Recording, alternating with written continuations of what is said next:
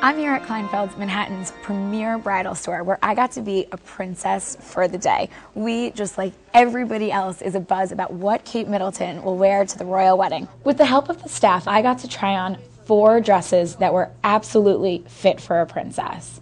The first was a lace trumpet gown designed by Alita Graham and priced at $3,300. I also got to wear a tiara designed by Thomas Knoll.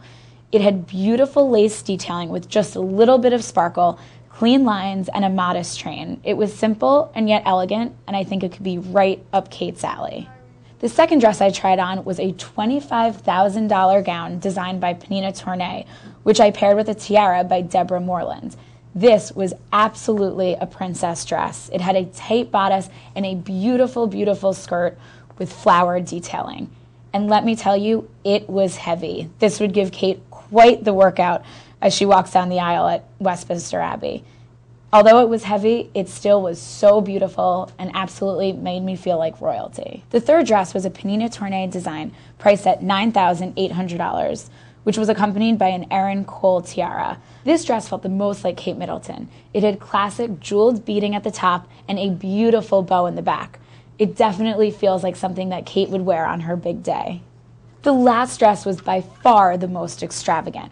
It was another beautiful ball gown designed by Pnina Tornai, bedazzled with Swarovski jewels and priced at $17,000. It was an extremely heavy dress as well and a little bit too outlandish for Kate's taste, but definitely, definitely fit for a princess. After trying on my last dress, I was beat. Let me tell you, being a princess is exhausting. But now I'm even more excited to see what Kate will decide to wear on her big day. Before leaving Kleinfeld's, we sat down with co owner Mara Urshel, who has more than 30 years of experience in the industry. We got her input as to what she thinks Kate will wear as she walks down the aisle this Friday. I think a bride who wants to be a princess, we certainly have a major selection. We have a big selection of ball gowns. Ball gown is number one. And of course, uh, it can be done in many different fabrications, satins and organzas and tulles, tulles being the lightest and taffeta being the lightest uh, with sparkles and diamonds and uh, tiaras.